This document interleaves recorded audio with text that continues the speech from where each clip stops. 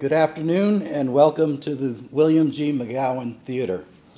I'm Richard Hunt, the director of the Center for Legislative Archives at the National Archives, and I'm pleased you could join us today, whether you're here in person or joining us on YouTube. Before we hear from Professor Ellis about his latest book, American Dialogue The Founding Fathers and Us, I'd like to tell you about two other programs coming soon to the McGowan Theater.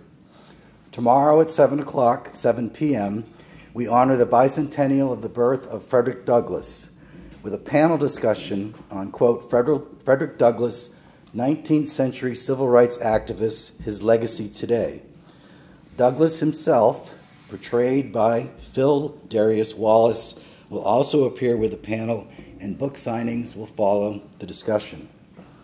And next Wednesday, October 24th at 7 p.m., we will host a panel discussion with the United States Association of Former Members of Congress called, quote, Catch the Wave Voter Disconnect, Discontent During Wave Elections. In a wave election, parties suffer a dramatic turnover in congressional membership, which typically results in a change of party control of one or both chambers of the Congress. A bipartisan panel of former senators and representatives who themselves either entered or exited during one of those waves will discuss their experiences. Check out our website, archives.gov, or sign up at the table outside the theater to get email updates about other National Archives programs and activities. Another way to get involved to support the National Archives is to become a member of the Foundation for the National Archives. The Foundation supports the work of the agency, especially in education and outreach programs. Check out its website, archivesfoundation.org, to learn more about the Foundation and to join online. Now to today's program. Joseph J. Ellis is one of the nation's leading scholars of American history. The author of nine books, Ellis was awarded the Pulitzer Prize for Founding Brothers the Revolutionary Generation, and won the National Book Award for American Sphinx, a biography of Thomas Jefferson. His in depth chronicle of the life of our first president, His Excellency George Washington, was a New York Times bestseller. Ellis's essays and book reviews appear regularly in national publications, such as the New York Times, the Los Angeles Times, and the Wall Street Journal. His commentaries have been featured on CBS, C SPAN, CNN, and PBS's NewsHour, and he's appeared in several documentaries on early American history.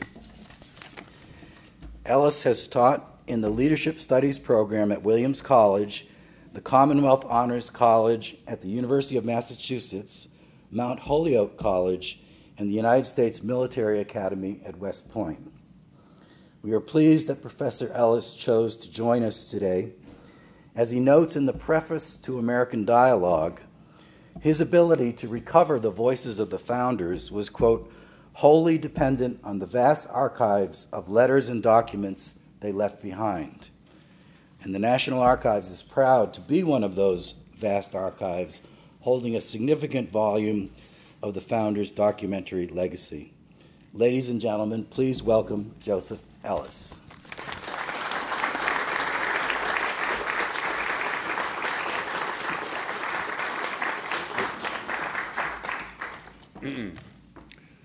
Thank you for that uh, gracious introduction.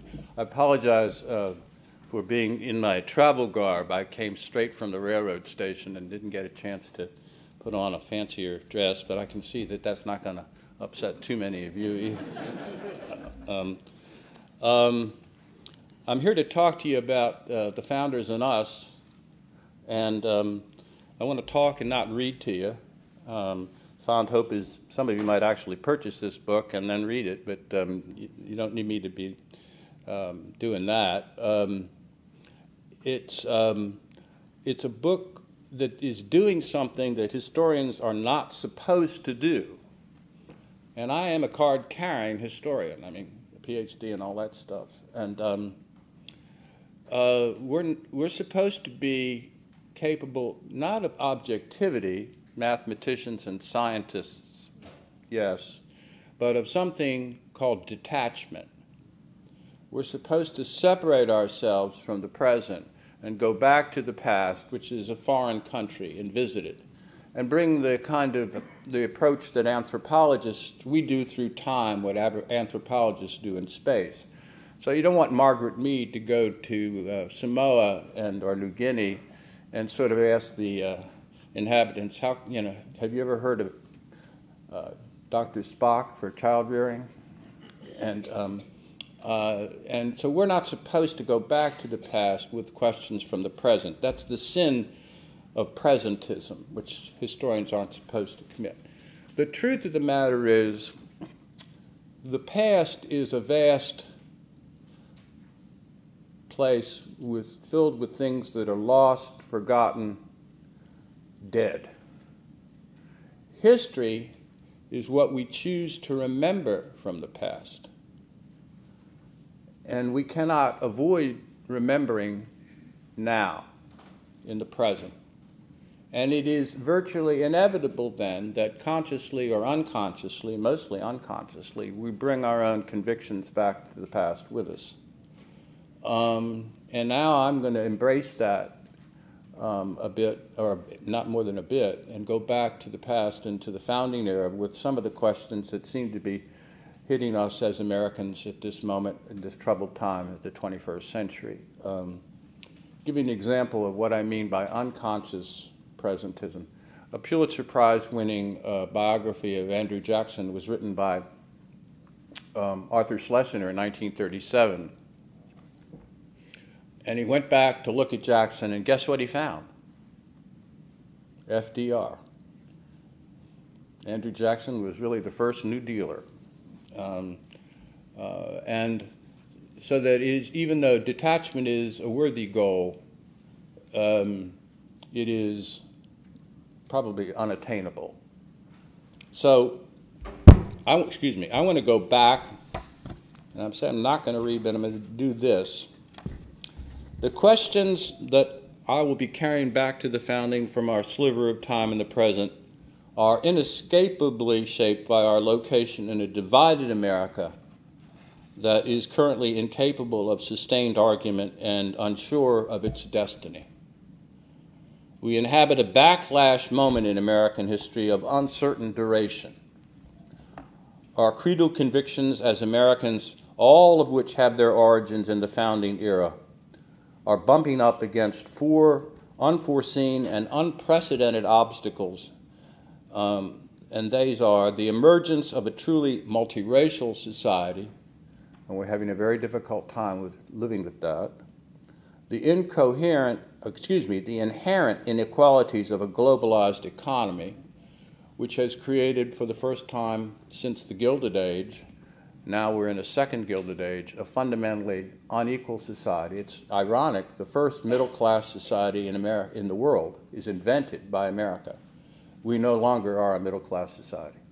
We have the highest degree of income inequality of any advanced democracy in the world. People don't like to talk about that, especially on the right. That, to me, is the defining, one of the defining issues of our time.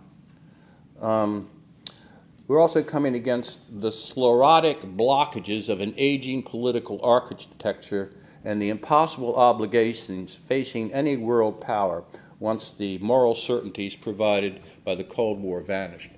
Politically, I'm suggesting that if the founders could somehow come back, and they can't, they are all busy being dead. we have not invented a time machine. They cannot come and talk to us. People used to say to me when I was on the road for a, for a Washington biography called His Excellency, it was during the Iraq War, what would Washington do about Iraq? he wouldn't know where Iraq was.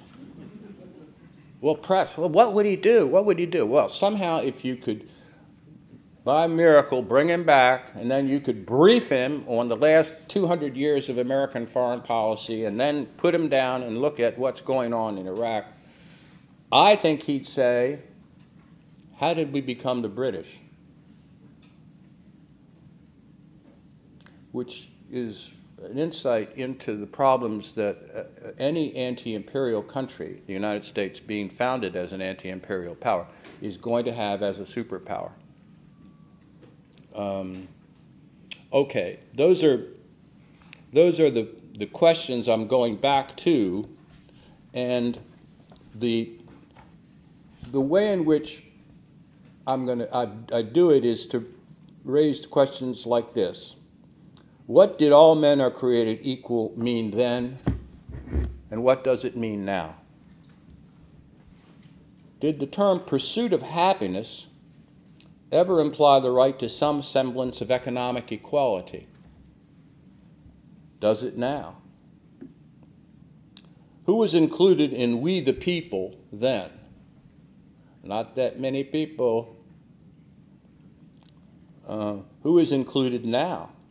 You know, when the uh, candidates for the Supreme Court, we recently observed the Senate Judiciary hearings and a very controversial candidate. Um, they often mimic the words of um, Chief Justice Roberts when he was up for appointment. And he said, Look, I'm just an umpire. I just call balls and strikes. Well, Baseball didn't exist in 1787, and the strike zone has expanded considerably. Women, Native Americans, African Americans, people with prop, people without property, none of those were included in We the People in 1787. Um, did the founders leave a legacy of government as us or them? If the answer is both, and it is, which of those two legacies is most relevant for us now? Given our current condition as a deeply divided people, I say, my hope is that the founding era can become a safe place to gather together not so much to find answers to these questions as to argue about them. Indeed, and that's one of the things we can't do anymore. We can't argue. We're all in our apps and our bubbles. Indeed, if I read the founders right, the, their greatest legacy is the recognition that argument itself is the answer. So, in the same way that the founders went back to the Greek and Roman classics, to Herodotus, Thucydides, Tacitus, um, Plutarch. I'm going back to Washington, Madison, Adams, and Jefferson, our classics, um, and asking you to join me in a engaged conversation about what they mean. Um, to give you a preview uh, or give you a, some sort of, I'm going to focus a little bit more on Jefferson than anybody else here because you can't do everything. And I'd like to end after 20 minutes, no more than that, and open it to questions and allow you the time to come at me with whatever questions you've got. Um, uh, Jefferson is the guy for race. Put that aside. we're going to look at that more closely in a second. Adams is the guy with economic inequality because he is the one founder. He's my favorite founder. His stock has really gone up. I'd like to believe some of it has to do with what I've read. But McCullough probably has had a greater impact than I have, and the HBO documentary it, done that. The single most important thing is all his papers are coming out, especially the Abigail and John letters he is the most candid of them all. And he's got a diary. You know, you look at Washington's diary, and, you, and so it's like on the day that he leaves office as president, this is in New York then, no, it's in Philadelphia, excuse me, uh, April 1796, and you want to know what he's thinking. What does he say? April 1796, temperature 38 degrees, a day like all days. Adams talks about the weather inside himself, the raging bulls, and, he, and so he's, he's wonderful. All biographers need people who tell you things about themselves in their letters and provide you with that kind of material, and, and Adams does that. There's a correspondence between Adams and Jefferson uh, in their twilight years, 17, 1812 to 1826, in which they engage each other, and Adams and, and Jefferson argue about what they call the aristoi, the aristocracy, or the few versus the many. Um, and Adams begins this by saying, You and I ought not to die before we have explained ourselves to each other. They really are the North and South poles of the American Revolution. Um, and they disagree fundamentally about what the revolution really meant and, and how they'd all been shaped by it. Both of them been shaped by it, but they, they fundamentally disagreed. And Adams insists that the same pattern that has always afflicted European societies for the last two millennia will afflict the United States. We will eventually become a society dominated by a wealthy class. And that in Europe it will be somewhat different because it's titled, tinseled aristocracy. But in the United States, it's going to be based exclusively on wealth. And that that's inevitable. And once you get that, the wealth will be used by the top people to control the government. And you'll get a plutocracy. And once it's in, it's going to be hard to change. He predicts the Gilded Age. Um, and so he's extremely relevant for us because we're in the second Gilded Age. And if you if you graph income inequality from 1880 up to 1930, it's like this. And then in 1930, it starts down and goes steeply down. The big reason is the Great Depression. Everybody's losing money, especially the people at the top. But then the New Deal kicks in, and about 1939 40, it levels off. And it stays at that level from 1930 till 1980. This is the golden age. This is when the middle class is, recovers its, its robust character. It starts up again in 1980 and it keeps going. And in 2008, it passes the high point that it had reached in 1928 29 and so that there's greater income inequality in the United States now than there ever has been. The top three hedge fund managers make more than all the kindergarten teachers in the United States. And the most recent piece of legislation passed by the Republican Party adds $1.8 trillion to the national debt, a huge amount, and distributes that $1.8 trillion so that 82% of it goes to the top 1%, amplifying the economic inequality. Again, the American dream is dead for about 50% of the population. This is intolerable. Um, Adams doesn't have an answer. The answer that he has, he has a couple of crazy answers. Like he has an answer, when he's vice president, he recommends that public figures be given titles, like the king, uh, George, I mean, excuse me, George Washington be called His Majesty, and so that will amplify the significance of public service and will attract people there. It's a stupid idea. They call him, as a result, they laugh at him and call him His Rotundity. And um, he also says, well, we'll keep the, the wealthy people in the Senate they won't ostracize him in the Senate. Well, that's a powerful place to put them. And um, uh, he really has no answer. What he does say is what's not the answer. What's not the answer is to free the market further. What's not the answer is supply side economics. What's not the answer is trickle down economics. It will capitalism by definition produces inequality. His source on this is Adam Smith. He likes the Scottish writers more than the French Enlightenment. Jefferson likes the French guys. He likes the Scottish guys because they emphasize the role of emotions more than the French.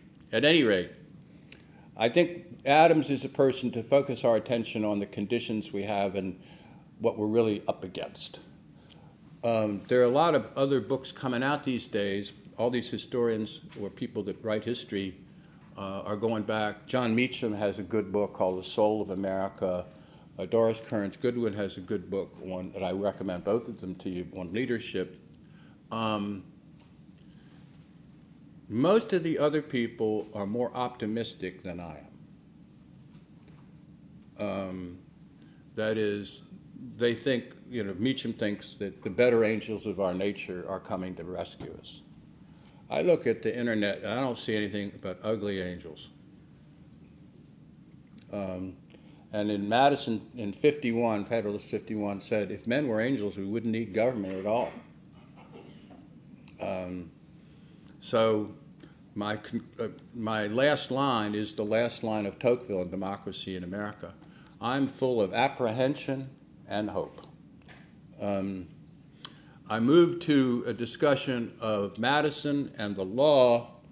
The point of that is that Madison keeps shifting his positions throughout the 1786, 87, 88.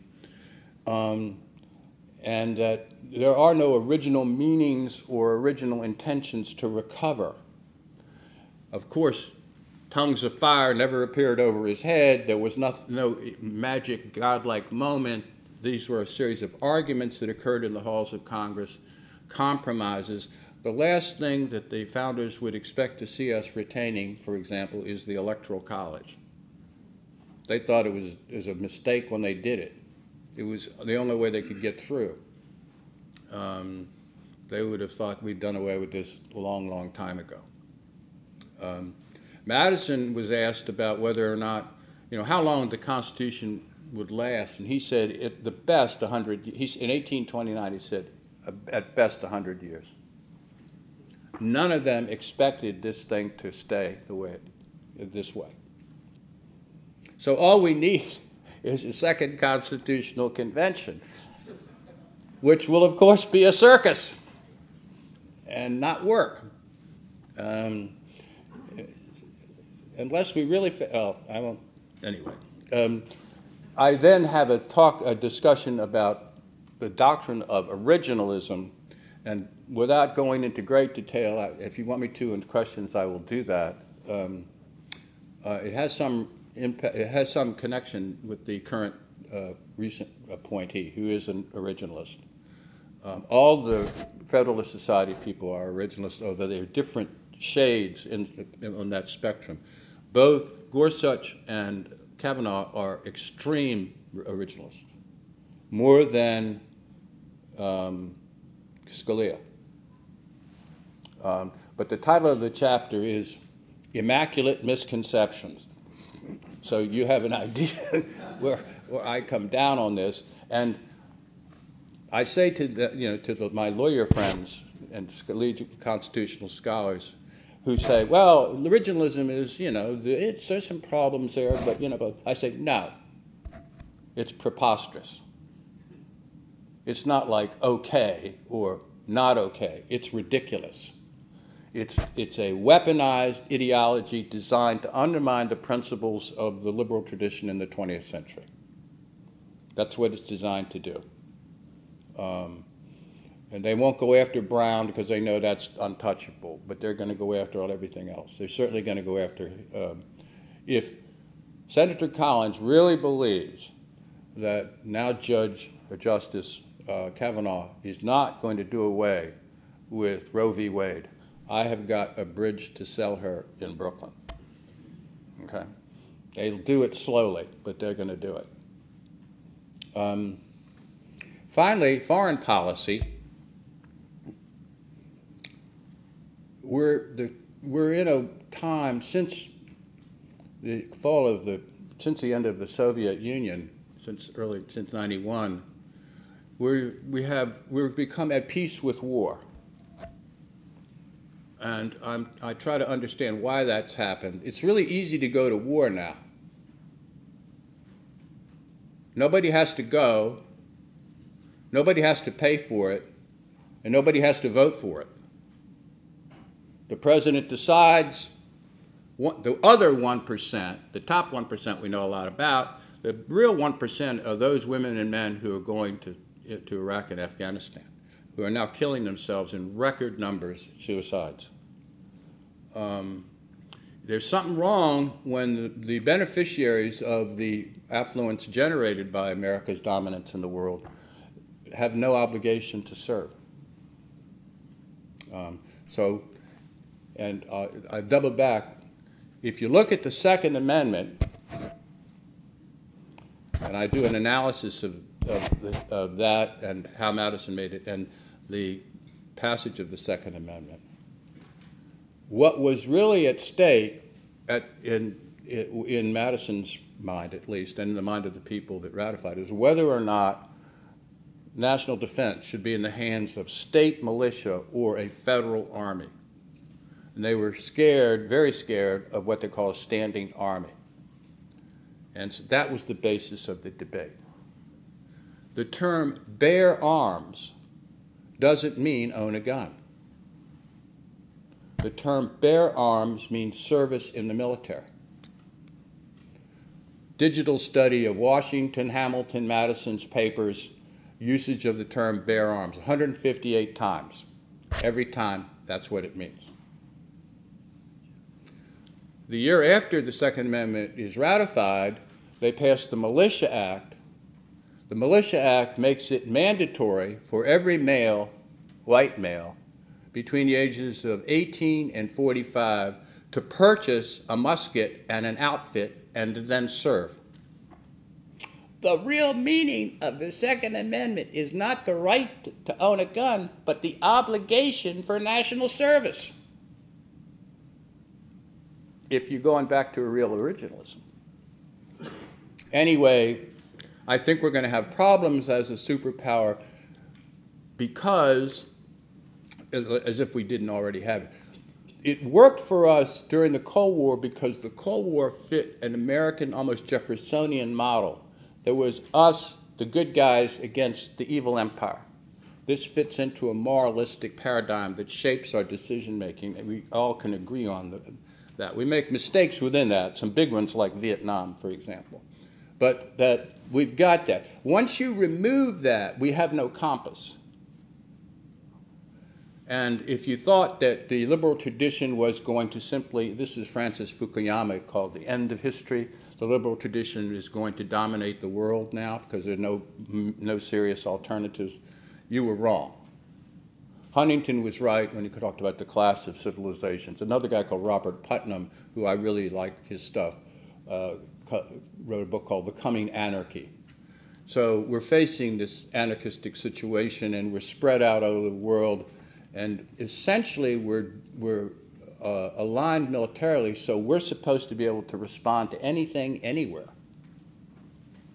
Um, this is not going to work. When the bill on Afghanistan and Iraq comes due, it's going to be between four and six trillion dollars. And it's all going to be worthless. If you took that four to six trillion dollars, you could have redone the entire American infrastructure and stabilized both Medicare and Medicaid for the next two generations. That is a hard trade-off to make in a democracy, it seems to me. I think we're fated to be a world power. Realistic assessment, in my Washingtonian assessment, is the United States is too big, too powerful, it's too powerful militarily. We have the most powerful military uh, force in the world ever. Neither the Roman Empire nor the British Empire at their height had the same degree of military superiority that the United States currently possesses. Um, can't walk away. We walked away once before and we know what happened between the wars, 1920 to 1940. Once we remove ourselves, the rise of Hitler, Mussolini, and Japan, and what becomes uh, World War II. Uh, plus a collapsed international economy. You can't walk away. In the, in, the, in, in the globalized world, there's no such thing as isolation. Um, So we're trapped. We're going to be a superpower. It's not going to be cost effective, and we have to make choices about what we're going to do. Any foreign policy we adopt, and we've never had a strategic decision, a strategic planning process after the Cold War ended. How come that never happened? We built up everything, you know, to fight the Russian menace or the Soviet and communist menace, and then when it collapsed, we didn't say, okay, you know, let's figure out how we scale back. There was no peace dividend because we got caught in the Gulf War, is what happened. All right, I'm talking too much. Um, I need to give you a chance. Um, and I've gone on because in a way that is beyond. Jefferson is, is one of my, the most interesting characters in the book in the sense that he is, as I'll tell you right now, um, the racial question. More than any prominent member of the revolutionary generation, Thomas Jefferson lived a life thoroughly embedded in the twin American dilemma of slavery and racism. His, earlier, his earliest memory was of being carried on a pillow by a trusted, if nameless, slave. His last semi conscious words as a dying man, a request to adjust his pillow, were mumbled to Burwell, his black manservant, when he, made, when he made a formal census of my family at Monticello in 1800, he counted 11 free whites and 93 slaves, two of whom were his own children. Um, because I won't, I won't. A racial fault runs through the center of the American experience, and Jefferson straddles that divide with uncommon agility, making him our greatest saint and greatest sinner, the iconic embodiment of both our triumphs and our tragedies. Rather than side with his most ardent admirers or most acerbic critics, we need to recognize not that the truth lies in between, but that Jefferson is a fusion of both sides in their most enigmatic shape. He is the Mona Lisa of American racial history. There's a marble panel right across the way in the interior of the Jeffersonian Memorial, which contains his most lyrical tributes to human freedom and equality. A new panel, we don't want to tear the Jefferson Memorial down, okay? And nobody's talking about tearing his face off of Mount Rushmore. Um, a new panel now needs to be added containing his seminal statement on our racial identity. Nothing is more certainly written in the book of fate than that these people are to be free. Nor is it less certain that the two races, equally free, cannot live in the same government. Nature, habit, opinion has drawn indelible lines of distinction between them. What Jefferson exposes to me, and I think if you read it to you, is how recent our commitment to being a multiracial society is. It's a mid 20th century commitment. Jefferson believed that you couldn't end slavery in his time because the only way that you could end it responsibly was to then send the freed slaves somewhere else. Initially, he thought it might be the West. then he said no, because that's where we're going to put the Native Americans, and those people don't get along very well. Um, thought it might be Dominican Republic. Um, and we can't end slavery until we have the answer to that. And at some point, the answer to that was so logistically, economically, and politically impossible, it meant you couldn't talk about it anymore. Um, his view on what would happen to the freed slave was not uniquely Jeffersonian. Most of the abolitionists thought this too. If you live in the North, you can deal with it because you can segregate them. If you live in Virginia or South Carolina, where the population is 40 and 60 percent black, it's unimaginable. And so Harriet Beecher Stowe, at the end of Uncle Tom's Cabin, has an appendix in the first edition saying, and after we free him, this is where we're going to send him. Mostly Liberia. Abraham Lincoln meets with, his, with black leaders, including Frederick Douglass in 1863, right after Gettysburg. Says, okay, if we win this war now, get ready to go. And I'm sending a special executive committee of five people to Panama. We're already going to take Panama and, uh, uh, as a possible location. Um, so when we get a demagogue who plays the race card up, which we got, used to be able to have to play it down. Now you can play it up. It's speaking to a significant American constituency that has never come to terms with the full implications of the civil rights movement, and guess what? Never will. Um, King said that the arc of the moral universe tends towards justice. And let's hope he's right. Unfortunately, this is not the moral universe. This is the United States. And the real pattern isn't this. The real pattern is this. It's upward, but there's always a downward dip after improvement. In other words, after Barack Obama, you could put your money on Donald Trump because there's going to be a backlash. Because there's a significant number of people who could not imagine a man that looked like that was their president.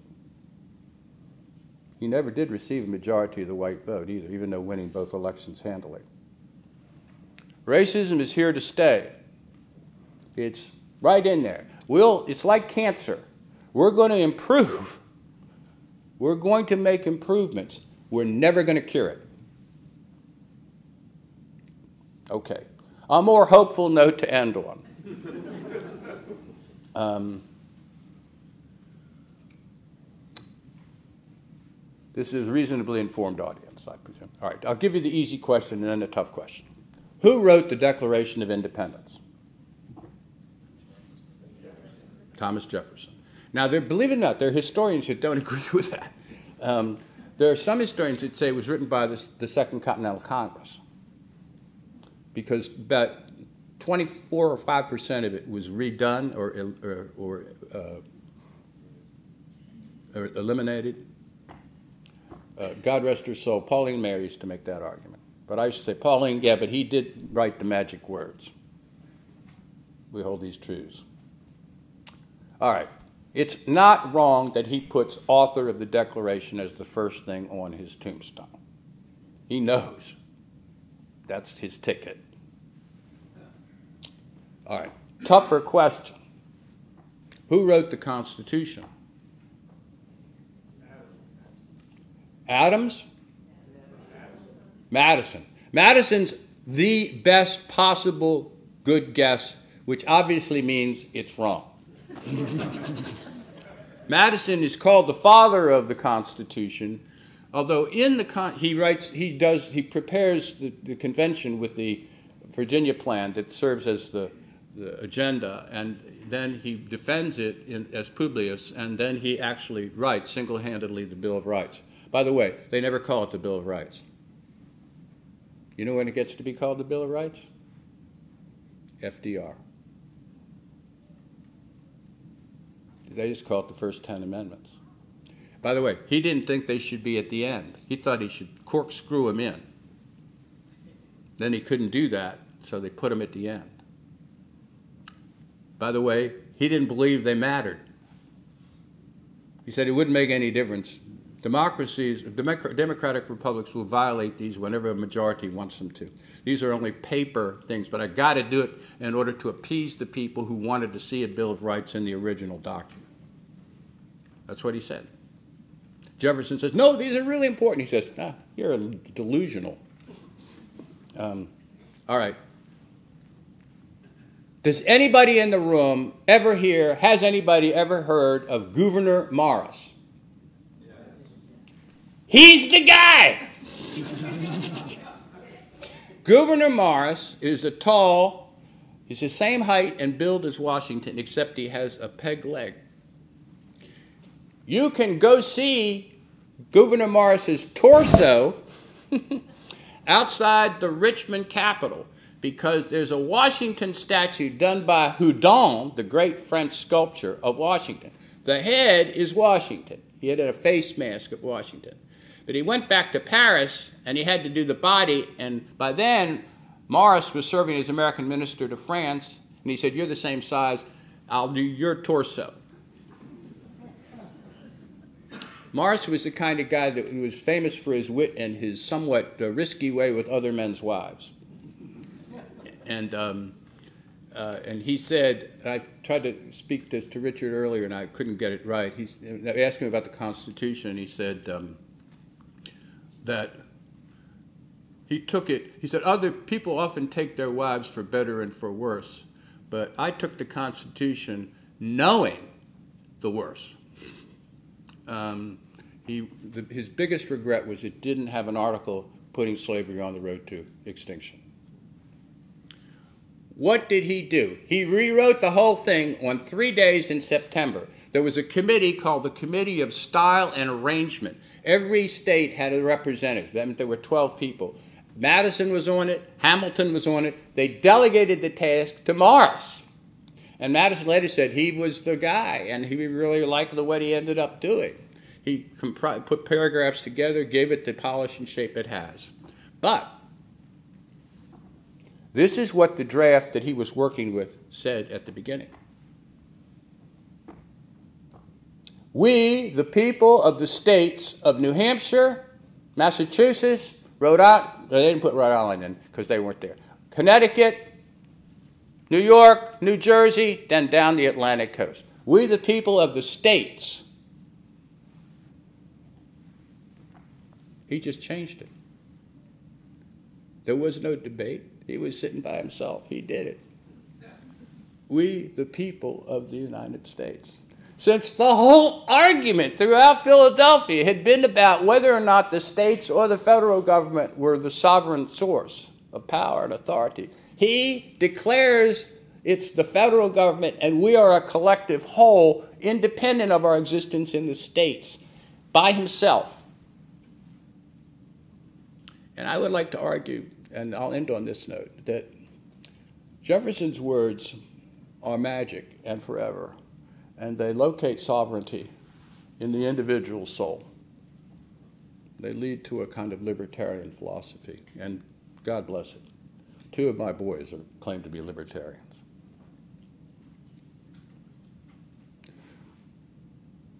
Morris's words go the other way. Morris's words say that we're part of something larger, a collective. Um, and it's the reason why, and Adams would agree that Adams, that's the reason Adams made Massachusetts a commonwealth, and then Pennsylvania copied that, and Virginia copied that, and Kentucky copied that. Those are the commonwealths. So in our time, I say, and I think I'm stealing this line from Theodore Roosevelt, more than ever before, we rise or fall together as a single people, and our collective interests have to take precedence. We have to think about what our responsibilities are as well as our rights. Um, and that side of the dialogue, responsibility collective, is something we desperately need. In my judgment, it's going to be hard to get. The forces arraigned against it are embedded and powerful. You have to, so in some sense, one of the points of my book is we, you got to know what you're up against. Um, I think that the way it's going to happen is crisis.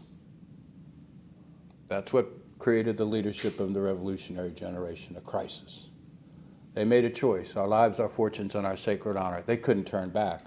Leadership was unavoidable. When Washington left Mount Vernon, he knew if he lost, he was never coming back. He was losing everything. They would take him to London, hang him, cut him up, put his head on a spit. He knew that.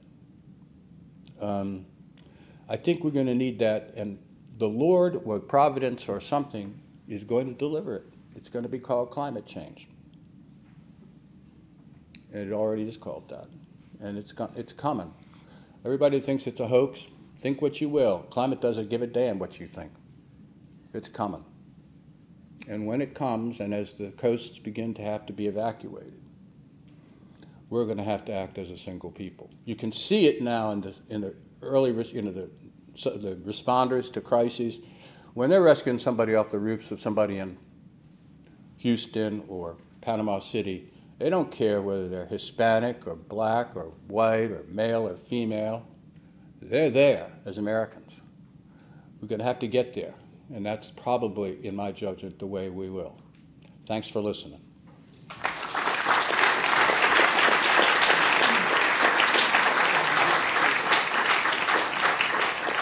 How many teachers have told you they're going to leave plenty of room for questions and then they don't leave as much as they promised to do?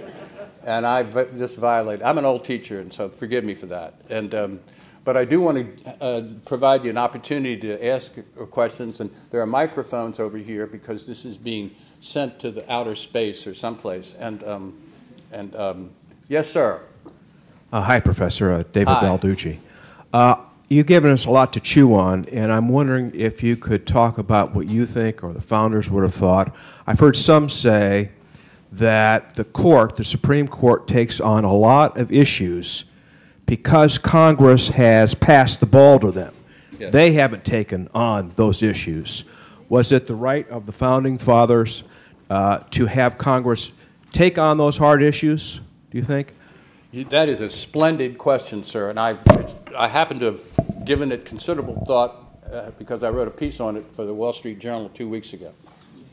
And the answer is the founders never believed the Supreme Court would be supreme.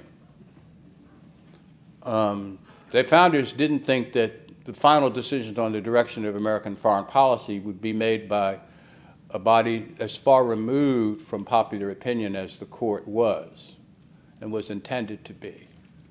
Um, and what's happened since the middle of the 20th century, starting, I think, with Brown, and first a liberal wave of legislation, and now then a conservative wave, which we're still in, um, that the court has become the ultimate arbiter of American domestic policy. And that's the primary reason why everybody agrees, and Trump himself has said, that the single most important power of the president is to appoint Supreme Court justices. The founders didn't want it that way. This is, this is not Republican. They wouldn't say dem Democratic, they were Republican. And remember the word republic, res publica, things of the public. Um, the public's not the same thing as the people. The, peop the public is the long-term interest of the people, which at any given moment most of the people don't fathom.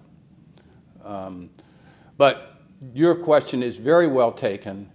Um, and now that the Supreme Court has become so conspicuously and inalterably politicized, its prospects of, in any way, living up to the mythology of a group of elders that levitate above partisan politics and have some connection to divine truth, that's gone. That's gone. And gone with the proverbial wind. And uh, so um, the proper answer is the Congress needs to start doing its job. Um, right now, it's a plutocracy. And uh, the, the people that represent us in Congress, their constituency is often not their voter, it's their donors. And um, it's going to be hard to change that. The worst Supreme Court decision in modern times, second and worst after uh, Dred Scott, is Citizens United. But there it is. Yes, sir. Oh, yes, sir. Uh, yes, you brought up the Electoral College. Yes. Uh, what do you think of the proposal to effectively abolish it through an interstate compact? It seems to be pretty well thought through with clauses like you can't withdraw on short notice and things like that.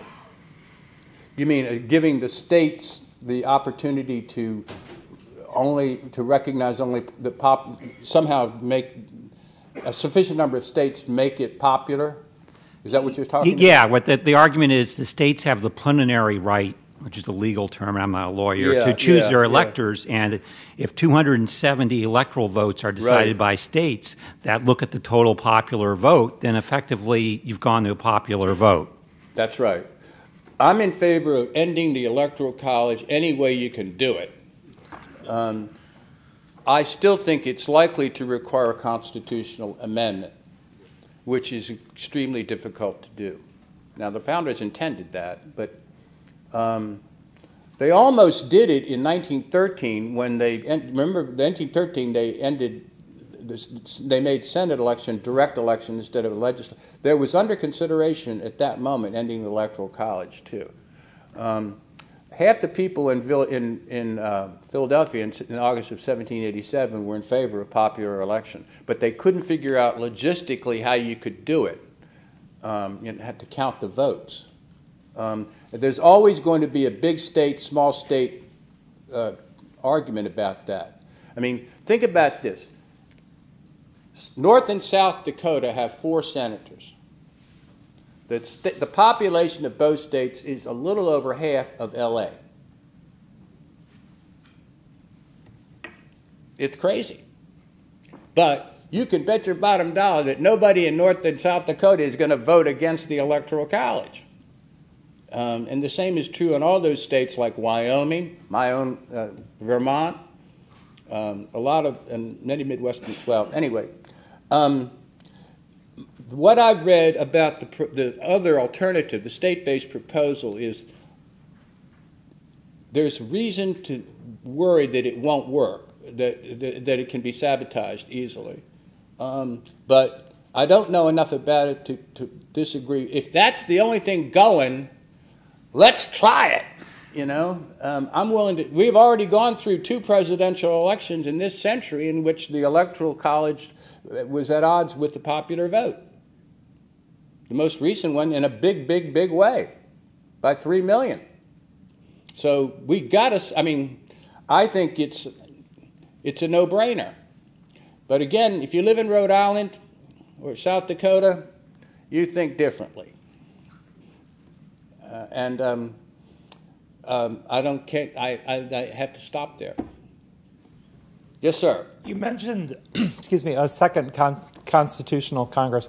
Uh, most liberals these days are opposed to that because they figure, given the right wing state houses would appoint the delegates, Oh. it would actually be a fairly malignant group which would wipe out social programs, abortion rights, et cetera.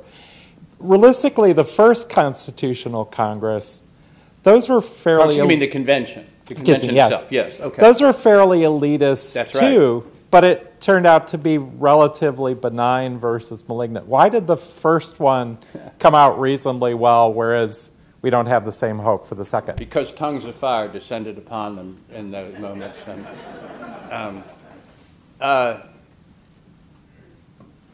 boy, I've written a book about this called uh, The Quartet that deals with some of that. And I'll give you the short answer here. Like,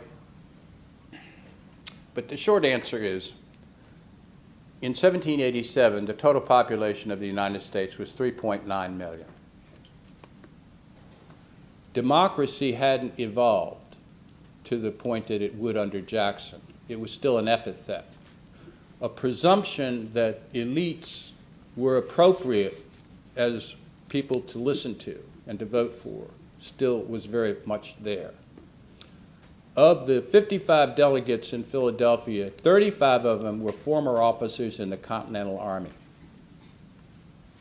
who had experienced the problems of the Confederation face, face up during the war, and they knew what they, they needed to have a stronger central government. It was total secrecy. You couldn't talk to anybody or give reports to the press. It was all white. It was all male. And that's the reason it worked. Think about now. it can't be all white. It can't be all male. Um, it's 330 million people that, it, that it's trying to govern. It's a total continent. In other words, the very things that we would now regard as ridiculous limitations on such a gathering, holding secrecy. How long do you think any secret would last? The, the conditions that allowed the first con, the Constitutional Convention to work are the very reasons that are, are, because it's impossible to imagine them again would make a second Constitutional Convention virtually impossible to bring off. Um, but you know, like, I don't know about you, but as I walk around in, in my latter years, almost everything that I think we need to do is impossible. But I think leadership in the future is not going to come from mainstream American politics. After all, who in his right mind is going to run for office anyway? You got to be nuts. Um, and uh, Martin Luther King could have never won elective office. Um, so we, it's going to come from other places. And, and we'll, we'll reach the decision to really make a kind of new, it might not have to be a whole new convention. You know, we could do something like after the Civil War. We can do five or six amendments and revisions. Um, that's possible. I don't see us getting to that point until we're really in a crisis. Trump is bad news as far as I'm concerned, but he's not a crisis. He's a comet that's going to burn up in the atmosphere. The conditions he, that make him possible are a, a, a worrisome thing. Yes, ma'am. Oh, a former student of mine. There she is. All right. Rebecca, how the hell are you? Yeah, I was going to give a disclaimer for the audience. I'm uh, slightly biased. I'm a former student. But um, so I like all of your books, of course. Um, well, you were required to. You only got an A because of that, yes. I have only read the preface of this one um, so far. I do think that it is going to be my favorite, which leads to my question. So there's um, a self-conscious um, element to it about like what the founders do for us. And i really like that. So i was wondering how have your books evolved since um, founding brothers or american sphinx? And um, if they haven't evolved then why not? Thank god they have rebecca. As i've advanced in wisdom age and grace um, uh, I, I haven't changed, but the chapter on Jefferson is, more is tougher and critical of Jefferson more so than the earlier book I did, which was itself not, you know, laudatory, but it was, um, as the race question has become more and more central to my own way of thinking, if you look through the racial window, Jefferson's not going to look good. There are other windows to look through. If you're looking at religious toleration, he is great. You're looking at architecture, he's got something to say. You're looking at wine tasting, he's good at that. And, um, um, but, um, and uh, on the race thing. And I think that, that you know, you're, yeah, as a former student, you know, like I, when I retired from Mount Holyoke, that was four or five years ago, and I then taught at a couple other places for a year or two, as you know, just to keep my, myself alive. And I miss it. I miss it. I miss you guys. I don't, meet, I don't miss grading your papers, however. Let's see if I remember. You wrote a paper, the last paper you did for me was in a course called Back to the Future, and you wrote about whether or not books would be alive in libraries in another 50 years. Is that right? There you go. There you go. Okay. I think that I asked myself what the heck I was doing for 40 years as a teacher trying to communicate things to people like you. And if all I was doing was getting them to understand the differentness of the past, that wasn't really very impressive. There must have been some connection between what you learned and the way the decisions you make in your life. And I was just saying this to Richard. Uh, one of the things, I don't know whether I gave you my lecture on this before you left, but you know, I said, all the big decisions that we have to make, you know, like the calling that we have as a profession that you just decided about, who you're going to marry, man or woman, um, we have to make all those decisions without knowing enough to make them well. or as well as we'd like. Later on, oh yeah, I should have done that, you know, and um, um, and history expands your memory and back in time. And if I didn't believe that, then I, I, must that must have been driving me as a teacher. And anyway, if that's what I really believe, I need to write a book that does that. Okay? And I need to be forthcoming about my own convictions, but each of the then chapters is still, you know, I've read the papers of Jefferson, I've read the papers of Washington, I've read the papers of um, Adams, I've read most of the papers of Madison. So I'm grounded, you know. I'm not just going back to cherry pick. You know, like people go back to Jefferson and say, Jefferson was an evangelical Christian. I'll find it. If you tell me what you want to find, I'll find it for you, okay? Uh, but Jefferson wasn't an evangelical Christian. He wasn't an evangelical, he wasn't even a Christian. He believed that Jesus was a neat guy, like Socrates. And when, when he, Jefferson, died, he wasn't going anywhere but into the ground. That was it. But um, at any rate, yes, I think I grew, and I think that some of that is in the book, and I think my attempt to connect then and now con- consciously and explicitly is, is a statement. And that was a struggle. That was a struggle. But if you're not struggling, you're not growing. Remember that. We're going to take one more, and then I'm going to, I'm going to let you, let you go to lunch. Yes, Well, ma'am. You may have hinted at the answer to my question a few minutes ago, but if uh, Barack Obama's election and tenure vi- virtually guaranteed a Trump, what hope can we expect from the Trump election, and when might we see? Oh, wow. Um, I, I was exaggerating, I but the election of a, of a black man guaranteed a, a backlash, and Trump became the form of that backlash on the racial front. What can we expect? I think that there's backlashes to backlash. We are going to discover in about two weeks whether that is what's already happening in what are going to be the most important midterm elections in my lifetime. And I'm worried. I know the Trump people are turning out. The Kavanaugh thing has increased their ardor. I still don't know about the millennials, as include my kids. Um, and some of the racial minorities. Um, the big number in 2016 was 47. 47% of the people never voted. Think about that. Um, and in midterms, like 65% of the people don't vote. If we get a 50% turnout in a few weeks, it's going to be the end of Trump. Or it's going to be the election of a Democratic majority in at least one House. Um, and that will eventually impose limitations. And from a strictly conservative point of view, balanced point of view, that should be something that most Americans want. Things are totally unbalanced now in terms of Republican domination. Um, but if you follow the pattern every backlash is followed by an upward curve.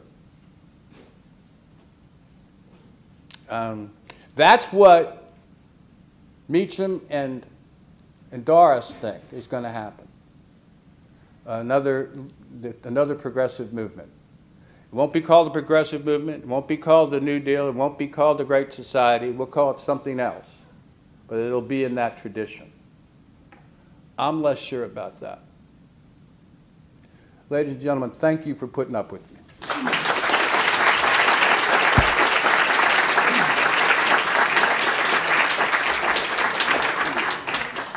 Folks, just a reminder, there's a books, uh, book signing right outside the door in the theater lobby. So please join us in a few moments out there.